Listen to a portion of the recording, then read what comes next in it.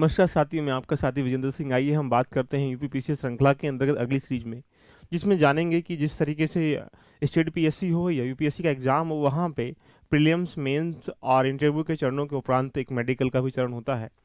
लेकिन इन सब की नॉलेज के उपरांत अगर देखा जाए तो महत्वपूर्ण रोल अगर देखा जाए तो आप सब लोग हिस्ट्री जोग्राफी इकोनॉमी, पॉलिटी सब ज्ञान को इकट्ठा करते हैं। इन ज्ञान को इकट्ठा करने के पश्चात एक विषय बन जाता है कि किस तरीके रिप्रेजेंट करना है। और रिप्रेजेंट करने के लिए देखा जाए तो यूपीपीसीएस में प्रीलियम्स मेंस के बाद इंटरव्यू तो मेंस में जो एक उत्तर लेखन की कला है, ये भी एक प्रकार से कहीं ना कहीं चरण में डिनोट होती है।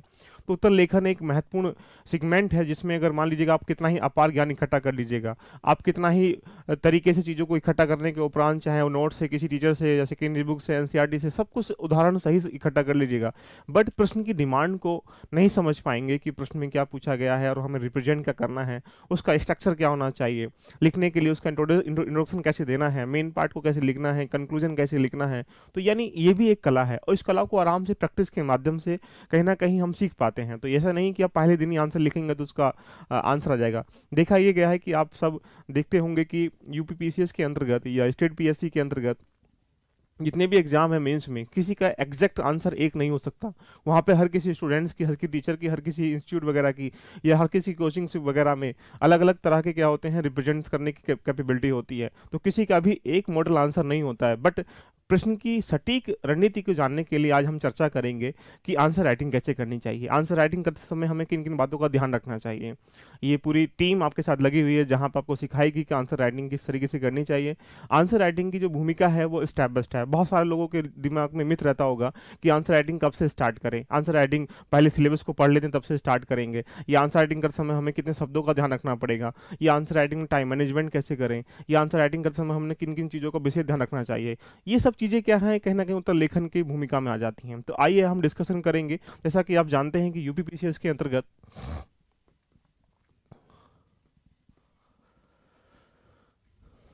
अगर यहाँ से देखें कि पीटी के अंतर्गत दो पेपरों में कहीं ना कहीं नॉलेज का रोल है। लेकिन इसके उपरांत जब जाएँगे आप मेंस में तो मेंस के अंतर्गत आप यहाँ पे जीएस के चार पेपर और एसए के तीन ऐसे आपको लिखना पड़ेगा यूपीपीसीएस में। और साथ में ऑप्शनल इन सब में जो महत्वपूर्ण रोल है, इसके साथ हिंदी भी, इसके साथ जो महत्वपूर्ण रोल है, वो बन जाता है उत्तर लेखन का। आप कितने ही विचार इकट्ठा कर लीजिएगा, आपके दिमाग में कितना ज्ञान है, लेकिन वो आपके दिमाग का ज्ञान आपकी कलम पर नहीं आ पाता है और रिप्रेजेंट नहीं कर पाते हैं तो वो क्या है? बिल्कुल, बेकार है। तो उसको रिप्रेजेंट करने की कला के दिमाग में जो थॉट्स आ रहे हैं, जो विचार आ रहे हैं, अपने कलम से कैसे तालमेल मिलाना है, तालमेल के साथ उसमें कैसे गति देनी है। कभी कभी देखा होगा आप लोगों ने कि हम लोग प्रश्न को लिखते हैं तो अंतिम समय में टाइमिंग कम बच पाता है।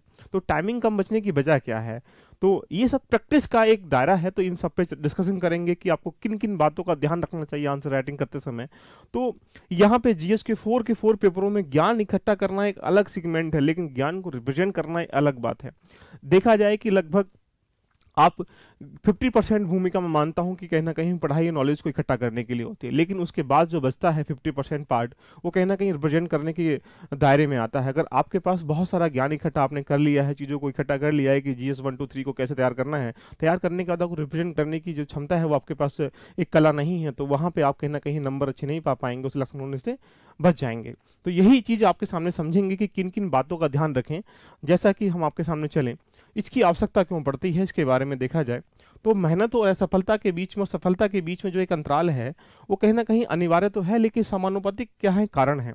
और उसका आपस में कोई संबंध भी नहीं है। संबंध क्यों नहीं है? आप जान सकते हैं कि जो अधिक मेहनत करते हैं विद्यार्थी, ऐसा नहीं कह सकते कि वो सफल ही हो जाएँगे, या ये कह सकते हैं कि जो कम विद्यार्थी हैं वो असफल हो जाएँगे। तो यहाँ अधिक मेहनत करने वाला भी विद्यार्थी क्या है? असफल हो सकता है और कम मेहनत करने वाला विद्यार्थी भी सफल हो सकता है। ये कोई डायरेक्टली कह सक, कह सकते हैं कि ये कोई डायरेक्टली आंसर नहीं है कि कौन विद्यार्थी सफल होगा कोई नहीं सफल होगा। लेकिन इन दोनों के बीच में एक मुख्य जो पार्ट बन जाता है, जहाँ आपको एक अन्य कारक है जो विशेष कारक के रूप में है वो क्या है? महत्व उत्तर लेखन है। और उत्तर लेखन के लिए आप, उत्तर लेखन में आपके दिमाग का जो प्रतिबिंब है, वो झलकता है। उत्तर लेखन में आपके दिमाग के विचार झलकते हैं। उत्तर लेखन में आपके ज्ञान का जो एक आधार है, वो भी झलकता है। तो जब तीनों चीज़ें एक साथ मिल जाती हैं तो उत्तर लेखन की जो भूमिका है, वो बेहतर हो जाती है। अब हमें उत्तर लेखन करते समय किन किन विशेष बातों का ध्यान रखना चाहिए, ये विशेष पॉइंट बन जाता है। तो इस पर हम डिस्कशन करेंगे वन बाई वन करके। जैसा देखा जाए, आप जानते हैं कि किसी भी परीक्षक को किसी भी परीक्षक को ये जानकारी नहीं होती है कि ये जो पुस्तिका है, वो आपके सामने किस उम्मीदवार की है। आपने उसमें क्या लिखा है, सिर्फ़ वो रिप्रेजेंट करेगा कि आपने किस दायरे में आंस क्वेश्चन की डिमांड के आधार पर अपना उत्तर लिखा है, ये रिप्रेजेंट आपकी पुस्तिका करेगी। तो यानी किसी को जानकारी नहीं होती है किसी उत्तर पुस्तिका की है, या ये परीक्षक को कोई जानकारी नहीं होती है कि आपने कितनी गंभीरता से पढ़ाई की है या नहीं की है। डिपेंड करेगा कि आपने जो प्रश्न का उत्तर लिखा है, वो प्रश्न की डिमांड को फुलफिल करता है, नहीं करता है। अगर प्रश्न की डिमांड को फुलफिल नहीं करता तो आप कितना ही अपार ज्ञान इकट्ठा करके बैठे हुए हैं और आपको लेखन शैली अगर बढ़िया नहीं आती है तो कहीं ना कहीं आपके नंबर अच्छे प्राप्त करने में असफल होंगे। दूसरी बात, आपकी परिस्थिति क्या है? इससे भी कोई एक्टर को लेना देना नहीं है। तो इन सब बातों को बेसिकली बेसिकली कहा जाए, आपका तीन घंटे के अंतर्गत कैसा निष्पादन रहा वहाँ? ये शो करेगा एग्जामिनर के सामने कि आपने किस तरह की पढ़ाई की है, किस तरीके के आपके अंदर विचार हैं, या किस तरीके की लेखन शैली से आपने उस प्रश्न का सटीक आंसर दिया है, ये एक इंपॉर्टेंट पॉइंट बन जाता है। आगे हम चर्चा करेंगे। तैयारी की जो भूमिका होती है सिर्फ़ पचास परसेंट तक होती है। मेरा मानना है कि पचास परसेंट से अधिक तैयारी की कोई भूमिका नहीं होती है। आपने अगर पूरी तैयारी, पूरे सिलेबस को दस बार, बीस बार भी पढ़ लिया है और आपको कल रिप्रेजेंट करने की कला नहीं आती है तो आप नंबर कम प्राप्त कर पाएँगे। जो ये तय करता है कि आपको तीन घंटे में होने वाले मेंस में कैसा निष्पादन रहा, ये तय करेगा आपका उत्तर लेखन। आपने अपार ज्ञान इकट्ठा करने के उपरांत ही उस तीन घंटे के अंतर्गत आपके पास ना कोई तथ्य आ निकल आया, ना कोई कंसेप्ट दिमाग में आ पा रहा है, या फिर जितना भी आपने उस चीज़ को रिवाइज प्रैक्टिस किया था, वो वहाँ पे तीन घंटे में उसका निष्पादन नहीं आ पा रहा है, नहीं निकल के आ रहा है कि हमें लिखना क्या है। तो फिर कोई ज़्यादा उसका भूमिका नहीं रह जाती है पढ़ाई करने की। उसके उपरांत आपने कितने प्रश्नों के उत्तर लिखे? कभी कभी आप देख पाते होंगे कि बहुत सारे विद्यार्थी होते हैं कि पहले वाले या दूसरे, तीसरे प्रश्न में लगातार वो मैक्सिमम समय लगा लेते हैं, जिससे लास्ट वाले प्रश्नों के लिए, अंतिम वाले प्रश्नों के लिए समय कम बच पाता है। और जब समय कम बच पाता है तो हमारे यहाँ दिमाग पर क्या है? प्रेशर आ जाता है। प्रेशर आने से हमारे पास सारे प्रश्न हम अटैम्प्ट नहीं कर पाते हैं, जिससे सारे प्रश्न अटैम्प्ट ना करने की वजह से हमारे नंबर ऑटोमेटिकली कम हो जाते हैं। तो ये भी एक प्रश्न बन जाता है कि सभी विद्यार्थी को प्रत्येक प्रश्न का उत्तर देना है, लेकिन सभी प्रश्नों को हल करना है। लेकिन जब आप एक एग्जामिनर को अपने प्रारूप पे प्रभाव में ढाल लेंगे कि स्टार्टिंग के ऐसे प्रश्न लिखेंगे, उसे लगेगा कि हाँ इसकी जो उत्तर लेखन है, साथ में जो विचार हैं, जो इसका ज्ञान है, वो बिल्कुल वेस्ट है। तो उसके आधार पर वो कहीं ना कहीं आपकी फीलिंग से अटैचमेंट हो जाएगा, आकर्षण हो जाएगा आपकी तरफ़, उसके बाद वो प्रश्न का आंसर देने में, कहीं ना कहीं आपको आंसर सही नंबर देने में आगे बढ़ेगा। लेकिन अंतिम प्रश्न अगर बचते भी हैं, उसको आप लोग दस मिनट की जगह, दो मिनट में, चार मिनट में, पाँच मिनट में अगर प्रश्न का आंसर भी लिखेंगे तो कहीं ना कहीं उसको फ़ायदा होगा। आगे बात करें कि किस क्रम में लिखें। बहुत सारे प्रतियोगी होते हैं जो, जिनको एक सिस्टमेटिक वे नहीं पता होगा कि जब कोई प्रश्न दिया जाता है तो उसका सिस्टमेटिक वे क्या होना चाहिए। बहुत सारे ये निकल के आ जाता है कि इंट्रोडक्शन को लिखें ना लिखें। इंट्रोडक्शन किन किन प्रश्नों का लिखना चाहिए? या पैराग्राफ कहाँ लिखें? या डायग्राम कहाँ बनाएँ? अंडरलाइन कहाँ करें? मार्क कहाँ करें? कुछ चीज़ें ऐसी होती हैं जहाँ पे क्रमबद्ध तरीके लिखी जाती है क्रमबद्ध तरीके पता ना होने के कारण हम क्या सोचते हैं कि यही सोचते हैं कि ठीक है स्टार्ट करते हैं और एंड कर लेते हैं प्रश्न का। ऐसा बिल्कुल भी नहीं है। हर चीज़ की अपनी अपनी कला है और प्रत्येक चरण से गुजरने के लिए हर चीज़ को आपको आराम आराम से समझना पड़ेगा। यही नहीं कि एक दिन में ही सारी उत्तर लेखन आप सीख जाएँगे। एक लंबी यात्रा है और लंबी यात्रा में आपके पास बहुत सारे चरणों से गुजरना आपको पड़ेगा। आप जानते हैं कि प्रीलिम्स की तैयारी मेंस की तैयारी इंटरव्यू की तैयारी का अलग अलग क्या है? एक ढांचा है। उस ढांचे में आप सोचें कि हाँ एक बार तैयारी कर लें, उसके बाद हम आंसर दे देंगे पॉसिबिलिटी नहीं है। मेंस का अपना अलग रोल है पीटी का अपना अलग रोल है और इंटरव्यू का अपना अलग रोल है। जब सबका अलग रोल है तो तैयारी भी उनकी क्या होगी? अलग अलग चरणों में की जाएगी। तो यहीं से ज़रूरी है। तो बहुत सारे देखा होगा, बिंदुओं में लिखें या पैराग्राफ में लिखें, ये भी एक प्रश्न बन जाता है। तथ्यों में लिखें, विश्लेषण का समुचित प्रयोग कैसे करें, किस अनुपात में लिखें? कभी कभी आपसे किसी प्रश्न में आलोचना ऐसा पूछा गया कि आलोचना कीजिएगा। तो हम सारे नकारात्मक शब्दों को लिख देते हैं। आलोचना इतनी कर देते हैं कि उस प्रश्न का जो ढांचा है वो सटीक आंसर की जगह वो उल्टा उल्टा हो जाता है। तो ये आपको कैसे बैलेंस करना है, किस रेशियो में बैलेंस करना है कि आलोचना भी ऐसी ही करनी है जो एकदम को लगे कि कहीं ना कहीं पॉजिटिव वे में जा रही है। तो ये सब चीज़ें मैं सिखाऊँगा आपको। दूसरी बात, एक अहम रोल ये होता है कि उस टाइमिंग में आपकी जो हैंड राइटिंग है वो कैसी हो पाई है। हैंड राइटिंग आपके कहीं ना कहीं जो लेखन शैली का एक प्रारूप है, ये भी एक कला है। आपकी साफ़ सुथरी राइटिंग का मतलब ये है कि कहीं ना कहीं एग्ज़ाम को समझ में आनी चाहिए। आपने ऐसी राइटिंग लिखी है कि शब्द तो बढ़िया लिखे हैं, प्रारूप भी बढ़िया है स्ट्रक्चर भी बढ़िया है, लेखन शैली के अंतर्गत आपने जो समाहित किया डाटा है, वो भी बहुत बेहतर है। लेकिन आपके पास साफ़ सुथरी राइटिंग नहीं है एग्ज़ाम उसको समझ ही नहीं पा रहा है, पढ़ ही नहीं पा रहा है। तो उससे क्या होगा? आपका लिखा हुआ कंटेंट भी है जो वो बेकार हो जाएगा, उसमें नंबर नहीं मिलेंगे। तो नंबर कैसे मिलते हैं? सारी चीज़ें आपके दिमाग में हैं। सिर्फ़ एक प्रकार से कैसे एग्जामिनर को प्रभावित करें अपने शब्दों से, अपनी हैंड राइटिंग से, अपने विश्लेषण से, अपने तथ्यों से। ये सारी चीज़ें कहीं ना कहीं एक प्रैक्टिस के माध्यम से लगातार आती हैं। तो मैं यही आपसे बोल रहा हूँ कि कहीं ना कहीं तैयारी करने की भूमिका में फिफ्टी परसेंट के अलावा जो फिफ्टी परसेंट पार्ट है मेन्स के अंतर्गत तो उत्तर लेखन का है। बहुत सारे लोग इसमें नंदाज कर देते हैं कि पहले हम इसको आराम से कर लेंगे एग्ज़ाम हॉल में ही जाके कुछ लोग करते हैं। ये एक आज के समय में बड़ा सिगमेंट बन चुका तो इन सब पे हम डिस्कशन करेंगे।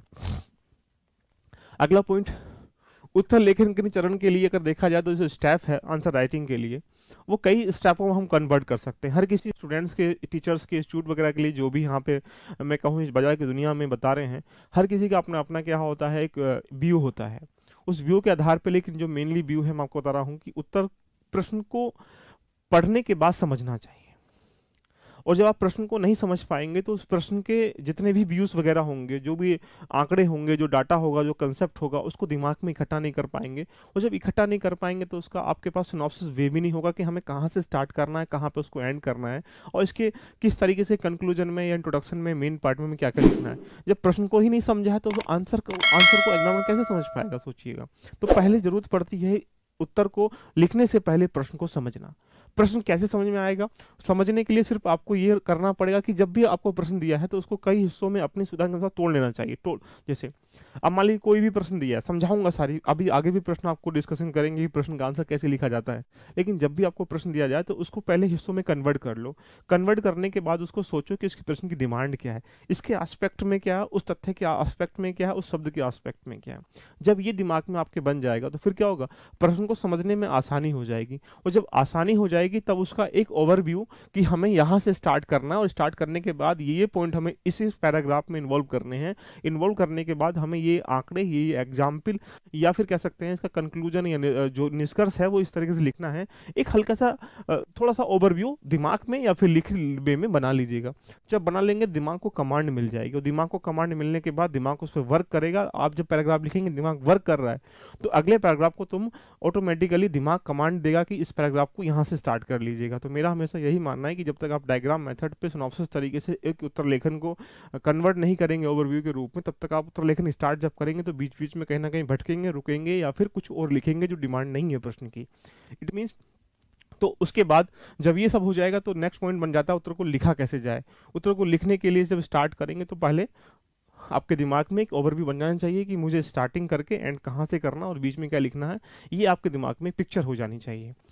देन उत्तर के लिए जो प्रस्तुतिकरण है उसको आकर्षक बनाना है, जो उसका ऐसा लगे कि अट्रैक्शन की एग्जामिनर जब भी आपकी पुस्तिका को पढ़ रहा हो तो वहाँ पे स्टार्टिंग करने से एंड तक का ऐसा फ्लो हो कि उसे रुकना ना पड़े, उसे आनंद आए उसे पढ़ते समय। जैसे हम किसी जीवनी को पढ़ते हैं, किसी कथा को पढ़ते हैं, किसी या इंटरेस्टेड पोएट्री को पढ़ते हैं, कोई कहानी पढ़ते हैं तो उससे क्या होता है, जब हम पढ़ते हैं तो हमें आगे इंटरेस्ट आ जाता है, एक फ़िल्म बन जाती है। तो ऐसे ही जब प्रश्न को लिखें तो इस तरीके से लिखें, उसका प्रभाव इतना ज़बरदस्त होना चाहिए कि यात्रा को लगे कि हाँ वाकई में इसमें आनंद आ रहा तो आनंद आनंद आते हुए ऐसे डूब जाए उस प्रश्न के आंसर में, उसे आंसर उत्तर देने में या नंबर देने में कोई दिक्कत का सामना ना करना पड़े। कहीं ऐसा ना हो कि उसने एक लाइन को पढ़ा और फिर आपने किसी और चीज़ से जोड़ दिया।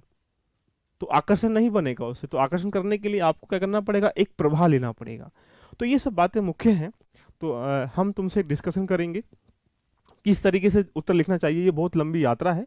इस यात्रा में आज की पहली सीरीज़ आपके सामने उपस्थित है। लेकिन अगर आपको उत्तर लेखन बेहतर आता है तो ये मान के चलेंगे जो ज्ञान इकट्ठा करने वाले लोग हैं उनसे आपके यहाँ अभी भी ऊपर हैं। राइट उसके उपरांत प्रश्न को समझने के लिए सबसे पहला यही ज़रूरत पड़ती है कि प्रश्न को टुकड़ों में बांटना ही बिल्कुल राइट बात है। उसके बाद सटीक तरीके से उसको समझना कि प्रश्न को टुकड़े के बाद उसमें सटीक तरीके से मतलब समझना ये है कि डिमांड क्या की गई है। जैसे पाप और अपराध में क्या अंतर होता है? अगर ये आपसे पूछा गया तो पाप और अपराध में क्या अंतर होता है? तो पहले पाप को बताना पड़ेगा और अपराध को बताना पड़ेगा, तब उसके अंतर पे जाएँगे, तब आप लोग को लगेगा कि सटीक आंसर क्या है। अगर आपने पाप को, अपराध को अंतर स्पष्ट करने से पहले डायरेक्टली बोल दिया ये पाप है, ये अपराध है तो पहले पाप को बताइए, फिर अपराध को बताइए, फिर दोनों में अंतर बताइए। तो जब ये चीज़ें बनेंगी आपको सटीक समझने वाली तो एक प्रैक्टिस के माध्यम से आ जाएगी आपके साथ। फिर कई बार ऐसा होता है कि एक प्रश्न ऐसा होता है, उसके अंदर भी कुछ उप प्रश्न छुपे होते हैं। जब तक आपको उप प्रश्न समझ में नहीं आते हैं, तब तक आप उस प्रश्न की डिमांड को नहीं समझ पाएँगे और प्रश्न की डिमांड नहीं समझ पाने से क्या होगा? उन्होंने आपस में कोई संबंध स्थापित भी नहीं कर पाएँगे और संबंध स्थापित ना करने की वजह से क्या होगा?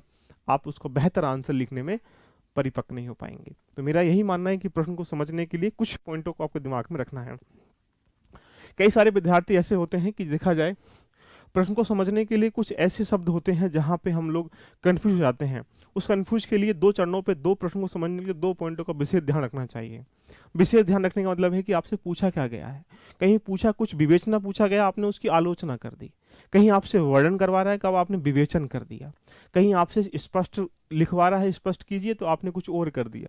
ये जब तक शब्दों को आप इनका सारांश नहीं समझ पाएँगे, अर्थ नहीं समझ पाएँगे तो उस प्रश्न की डिमांड को भी नहीं समझते। आपने देखा होगा, प्रश्न को समझने के लिए सबसे ज़रूरत पॉइंट बनती है कि प्रश्न के, किस आस्पेक्ट में प्रश्न को पूछा गया है, ये ध्यान रखें पहले। तो मैंने इन शब्दों को सबको समाहित किया है कि किस तरीके से हम प्रश्न के शब्दों का प्रयोग किया गया, इसको पहले हम लोग दिमाग में रखें। और अगर ये आपके दिमाग में रहेगा तो उससे क्या होगा कि आप उसके आधार पर उसका मूल्यांकन, समीक्षा, परीक्षण, जो भी पूछा गया, उसके, उस पर आप करेंगे। उसके उपरांत देखा जाए तो नंबर टू पॉइंट आपका बन जाता है कि प्रश्न कथन में कितने तार्किक हिस्से विद्यमान हैं। तार्किक हिस्सों का हमें विश्लेषण कैसे करना है, इसको हमें देखना पड़ेगा। और उसके बाद उनको आपस में कैसे संबंध स्थापित कराने हैं संबंध क्या क्या है, उसमें हमें लिखना क्या ये देखना पड़ेगा। लेकिन सबसे इंपॉर्टेंट पॉइंट ये बन जाता है कि जितने भी शब्द हैं, जैसे विवेचना कीजिएगा, प्रकाश डालिएगा, विश्लेषण कीजिएगा, व्याख्या कीजिएगा मूल्यांकन कीजिएगा, आलोचनात्मक मूल्यांकन कीजिएगा, समीक्षा करें, आलोचना करें, वर्णन करें, विवरण दें, स्पष्ट कीजिए, स्पष्टीकरण कीजिए। कुछ ये मुख्य शब्द मैंने आपके सामने रखे हैं जिनके हम चर्चा करेंगे कि अगर ऐसे शब्द जाएँ तो हमें क्या करना चाहिए। अब ऐसा नहीं कि परीक्षा ने कुछ भी लिखा है, अब आपने जो पढ़ा है वही चेप दिया। तो ऐसा नहीं होता है। सिर्फ़ एक प्रकार का ये दिमाग में उपजने वाली चीज़ों का डाटा है। तो आपको विशेष ध्यान नहीं रखना पड़ेगा कि हमसे पूछा क्या गया है। अगर आपने ये सब चीज़ें नहीं रखी दिमाग में तो क्या होगा? आप पूछा कुछ और गया है, आप दे कुछ और दोगे तो एग्जामिनर भी तुमको क्या देगा?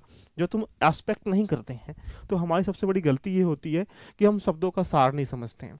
तो शब्दों के सार समझने के लिए कुछ मुख्य शब्द हैं ये, जिन पे हम लोग आज डिस्कशन करेंगे और जानेंगे कि कैसे होना चाहिए। जैसे, आपके सामने ये है व्याख्या लिखा हो कहीं, वर्णन लिखा हो कहीं, विवरण दिया गया हो कहीं, स्पष्ट कीजिए ये लिखा है कहीं, स्पष्टीकरण कीजिए ये लिखा है कहीं, प्रकाश डालिए। अगर इतने शब्दों को कहीं उसमें एग्जामिनर ने लास्ट में लिखा है, किसी शब्द के लास्ट में लिखा है तो आप क्या करेंगे? सबसे पहली ज़रूरत ये बनती है कि आपसे पूछना क्या चाह रहा है वो। पूछना ये चाह रहा है कि इन सब का जो अर्थ होता है, सभी शब्दों का समान आज से होता है मतलब लगभग आसपास ही होता है। ऐसे प्रश्नों में सबसे ज़्यादा विद्यार्थी से ये अपेक्षा की जाती है कि कहीं ना कहीं तथ्यों की गुजाइश की गई है कि कहीं ना कहीं आंकड़ों के आधार पर प्रश्न को सजा, प्रश्न का उत्तर सजाइएगा। अब जब आपके पास आंकड़े नहीं होंगे तो इनके प्रश्न का आंसर नहीं दे पाएँगे। अब आंकड़े कैसे लिखेंगे? आंकड़े कभी कभी आप लोग ये सब पैटर्न लगा लेते हैं। एक बात विशेष ध्यान रखिएगा। इसके पीछे अगर लॉजिकल पॉइंट और देखा जाए, जब भी आप किसी तथ्य को किसी आंसर को लिखते हैं तो हम मुख्य वाली बात पे ध्यान रख लेते हैं। कुछ लोग यहाँ पे वन टू पॉइंट लिख देते हैं। वन पॉइंट कुछ लोग यहाँ से ये वाला स्ट्रक्चर बनाते हैं, कुछ लोग ये वाला बना देते हैं। और भी कुछ कंटेंट होता होगा जो दिमाग में आप लेते हैं, लेकिन मेरा हमेशा मानना है कि जब भी आप कोई तथ्य लिख रहे हो पॉइंटों के आधार पर तो वहाँ पे one two three four point आपने लिखे फाइव पॉइंट लिखे मान लेते हैं आपने तो ऐसा करने से एग्जामिनर के दिमाग में एक वर्ड आ रहा है कि इसके अंतर्गत या इस विद्यार्थी के अंतर्गत इस प्रश्न को ले से इतने ही व्यू हैं जहाँ उसने पॉइंटों में दो, चार, पाँच लिख दिए हैं। तो पॉइंटों से यहाँ वन टू थ्री पॉइंट से बचना चाहिए, मेरा मानना है। और ये हमेशा आपको सजेशन अच्छा रहेगा कि जब पॉइंट में वन टू थ्री पॉइंट में ना लिख के आप अगर आप इसको ही बनाओगे तो ऐसा करने में भी आपको थोड़ा सा टाइम वेस्ट होगा। तो सबसे बेहतरीन रास्ता मेरा माना जाता है कि आप इसको फॉलो कर सकते हैं कि डायरेक्टली हम लोग इसको, ऐसा करने से उसे लगा है कि इस तरह के पॉइंट उसके और भी बन सकते हैं। तो कुछ ऐसी छोटी छोटी समस्याएँ छोटी छोटी गलतियाँ मैं आपको बताऊँगा, जहाँ जिनसे बचना चाहिए और हम इसको एक अगली यात्रा में, पूरी यात्रा के तहत हम पूरी करेंगे इसकी आंसर राइटिंग के प्रोग्राम को और समझेंगे लास्ट ईयर के दो तीन चार साल के पेपरों को भी डिस्कशन करेंगे मॉडल आंसर में लेटेस्ट की घटनाओं पर मॉडल आंसर लेके आएँगे और उसमें कैसा आंसर होना चाहिए, सबसे अवगत मैं आपको कराऊँगा। क्लियर? तो अब अगर दिमाग में पिक्चर बन पा रही होगी कि अगर ये शब्द लिखे गए हैं आपके सामने, ये वाले तो इनका अपेक्षा सिर्फ़ ये रहती है कि कहीं ना कहीं आपको तथ्य की अधिक गुंजाइश करता है एग्जामिनर कि आपसे इसमें तथ्य के अनुकूल पेश किया जाए। साथ में सरल भाषा में कहीं ना कहीं आपको व्यक्त करना चाहिए। ऐसा नहीं कि आपने उसको किसी अन्य भाषा में या कोई जटिल भाषा में आपको प्रयोग कर दिया इनका तो तथ्य भी स्पष्ट करने का मतलब है कि अपनी भाषा में होना चाहिए सरल भाषा में जिससे लगे कि एग्जामिनर उसने उस, उसे इस विषय पर इस तथ्य पर या इस बात पर उस पर क्या अच्छी समझ है। तो मेरा मानना है कि इन शब्दों के अंतर्गत ये दिमाग में रखिएगा कि ऐसा कुछ होता है। अगला पॉइंट बनता है कि आलोचना, समीक्षा, समालोचना, परीक्षा, परीक्षण, निरीक्षण जो शब्द हैं आपके सामने, चार शब्द दिए गए हैं, चार पाँच। आलोचना कीजिएगा, ऐसा लिखा गया है। समीक्षा कीजिएगा, ये लिखा गया है। समालोचन कीजिएगा, ये लिखा गया है। परीक्षण कीजिएगा, परीक्षण गलत लिखा है, लेकिन परीक्षण कीजिएगा, ये गलत लिखा है। निरीक्षण कीजिएगा, ये गलत, ये लिखा है। तो जब ऐसे प्रश्न किसी प्रश्न के अंत में दिए जाएँ तो उसमें हमें क्या करना चाहिए देखिएगा। उसमें सिर्फ़ एक ही रहता है, इस तथ्य के आधार पर कथन के करना है, अच्छाइयों और बुराइयों की गहरी समझ होनी चाहिए। कोई भी जब आपको किसी टॉपिक दिया जाएगा, कोई विषय वस्तु दी जाएगी, उस वस्तु विषय वस्तु की क्या अच्छाइयाँ, क्या बुराइयाँ हैं, जब ऐसा पूछा जाएगा तो तब क्या करेंगे? हम सिर्फ़ उन्हीं का वर्णन करेंगे कि क्या अच्छाइयाँ, क्या बुराइयाँ लेकिन विषय से जुड़ी नकारात्मक बातें लिखनी है मतलब जहाँ आलोचना वर्ड, ऐसे वर्ड आ जाएँगे तो उस विषय से जुड़ी जितनी भी निगेटिव बातें हैं या नकारात्मक बातें हैं, उनका हमें प्रयोग करना लेकिन बिंदु ये बन जाता है कि कहीं ऐसा ना हो कि आप नकारात्मक बातें इतनी लिख दीजिएगा कि प्रभावित हो जाए एग्जामिनर भी कि हाँ इसके, इसने बहुत ही ज़्यादा लिख दी है तो उसको बैलेंस भी करना है।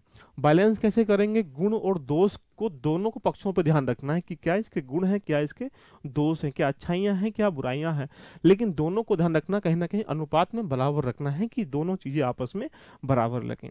दूसरा पॉइंट यहाँ से बन जाता है कि अगला जो शब्द पूछता रहता है एग्जामिनर अंत में लिखता है, मूल्यांकन करिएगा, आलोचनात्मक मूल्यांकन करें। अब नाम नाम दोनों के मूल्यांकन है तो मूल्यांकन क्या? आप सोचो, आपसे ही कोई जीवन में पूछे कि उस व्यक्ति का मूल्यांकन करिएगा तो क्या करेंगे आप?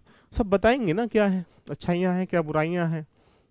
लेकिन फिर भी किस पक्ष में ज़्यादा जाएँगे? कमियों में ज़्यादा जाएँगे। तो ऐसे ही जब आपसे मूल्यांकन या ये पूछा जाए तो वहाँ पे विषय ध्यान रखना है कि हमें उस विषय वस्तु का निर्धारण करते समय ज़्यादा क्या करना है?